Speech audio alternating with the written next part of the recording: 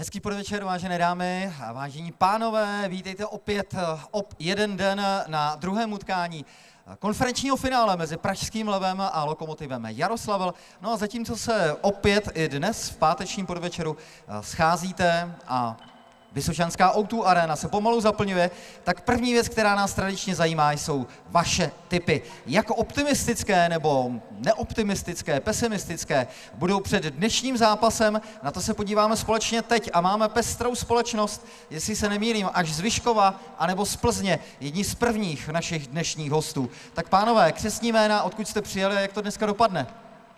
Tak jmenuji se Michal, přijel jsem z Plzně a doufám, že Praha vyhraje 3-1.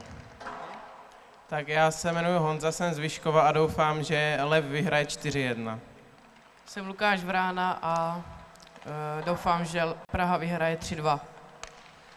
Tak sami jste to slyšeli a viděli, přátelé, všechny tři typy jsou optimistické, věří našim klukům, kteří už jsou na ledě na rozbruslení, tak nemáte-li zrovna něco v ruce. Zkusme je také přivítat. HC Lev Praha!